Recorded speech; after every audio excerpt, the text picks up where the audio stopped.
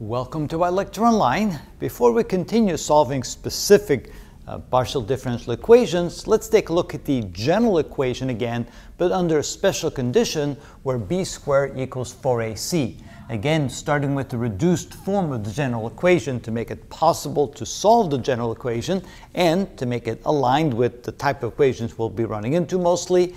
Again, realizing that if we take the coefficients c, b, and a, and we write as a quadratic equation of b over a, then we can solve it with the two solutions being minus b plus or minus the square root of b squared minus 4ac all over 2c, the solution to the quadratic formula. But when b squared equals 4ac and this goes to 0, we then realize we only have one solution, lambda 1 therefore equals lambda 2 equals minus b over 2c, and therefore the two equations, the two uh, equations P1 and P2, which are linear equations of x and y, then actually are the same equation, P1 equals P2 equals x minus b over 2cy. Since both of those are equal, we only have one coefficient here. Hmm. But we want to find the solution where we have it in this form, f of x plus ct plus g of x minus ct, where c is just some constant that we need to find. So how do we turn something like this into something like that? So the approach is similar to what we do in ordinary differential equations. We're going to then take the singular solution here and multiply it times another function of x and y, so where h is another linear function of x and y. So you can realize that there's a number of solutions that we can put in there in the form of uh, ax plus by, but let's try the simplest possible solution. Let's just simply go let h of x and y simply equal to x. If we do that, the equation becomes as follows.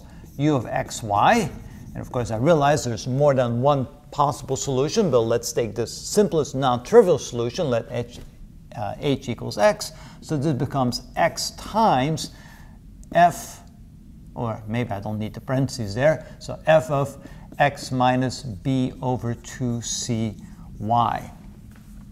And then if we go ahead and write the general solution based upon that, we can then say that u as x and y can then be written as the first function f of x minus b over 2cy. And then we can write this as plus x times another function of x minus b over 2cy.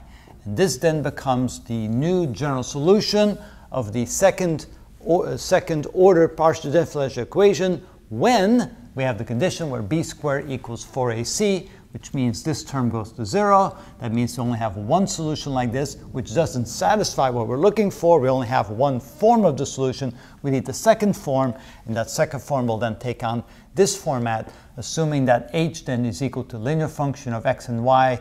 The simplest form of that would be simply saying h equals x, and that would be then the general solution of that simplest form. And that is how we go ahead and find the solution to a second order partial, partial differential equation when, um, when b squared equals 4ac. That's how it's done.